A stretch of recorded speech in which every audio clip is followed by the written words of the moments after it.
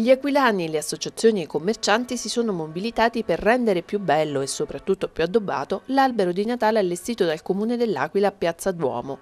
Considerato infatti dal popolo del web striminzito, brutto, triste, privo anche di qualsiasi illuminazione e dunque inadeguato secondo gli internauti ad una città che deve ripartire dal suo centro storico, questa mattina si sono dati appuntamento.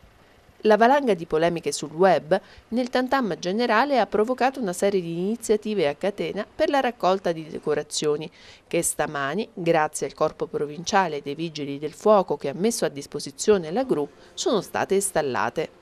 Tra i fautori dell'iniziativa l'associazione Mamme per l'Aquila, alcune attività commerciali del capoluogo, un gruppo di Facebook e l'associazione Rotary Club dell'Aquila, che, grazie anche al sostegno dell'assessore comunale Maurizio Capri, è riuscita a raccogliere tanti addobbi natalizi che decoreranno l'abete di Piazza Duomo. Stata una cosa molto bella perché siamo riusciti a costruire un nuovo albero di Natale incontrando tra l'altro casualmente, è stata una cosa veramente molto bella, i tanti cittadini che anche hanno risposto all'appello della rete del web che hanno voluto portare un qualcosa. Noi abbiamo cercato di far fare un progetto professionale di illuminazione per esterni in modo da avere un